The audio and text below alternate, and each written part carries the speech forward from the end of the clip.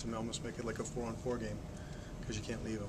Uh, he's got you know decent si- decent length for his size. Uh,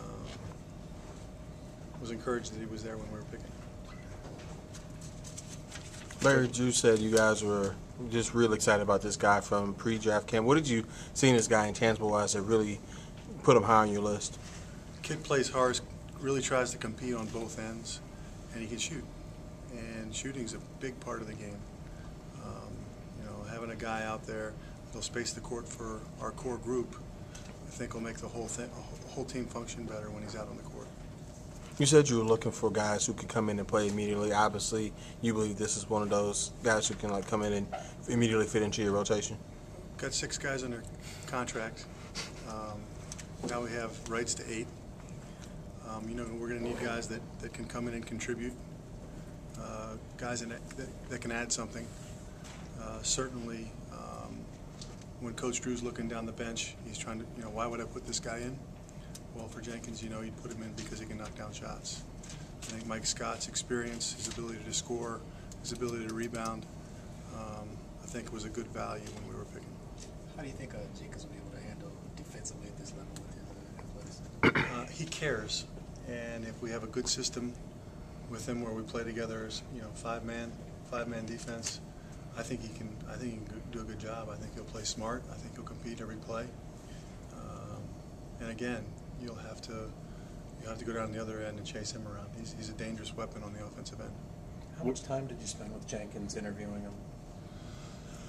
Uh, he was. We've had him in a couple times. Uh, I wasn't here for the first time. I was here for the second, and uh, really liked him. And he, you know, he really wanted to come to Atlanta, which is great.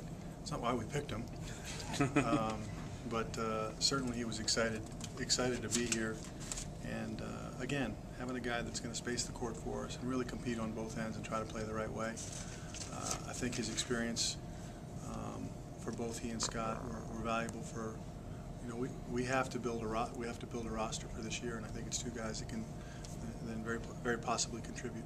Where do you think Mike Scott fits position wise? He's kind of a tweener in height. Do you think he's a three or a four in the league? Um, Mike Scott's a four. I think he he's he's he's got the strength to be able to play the, the four position. I think he'll be a good player in being able to finish. He's, I think he's a good 16 foot pick and pop type player that can also finish around the basket and rebound. So I think he's got a chance to be a good player. He's going to have to come in, compete on both ends of the court, defend, follow what Coach Drew is trying to do, and if so, you know, maybe, hopefully he'll be able to earn some, some quality minutes. Obviously, it's a small window of opportunity since Monday, so when was John in that you- that you were here for the? Uh, John was in Tuesday. or Tuesday. Tuesday, I believe, yeah. Um, Wednesday.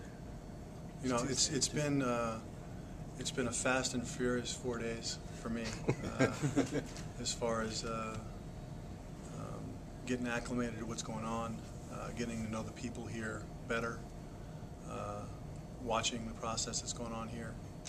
Um, you know, again, I think that, uh, our scouts and Rick were very well prepared um, and did a nice job in, in getting thing, things organized uh, as we got ready for this draft.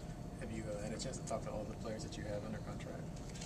I have reached out to all of them, uh, whether talked to them or texted them, and we'll start to try to get together with them coming up here.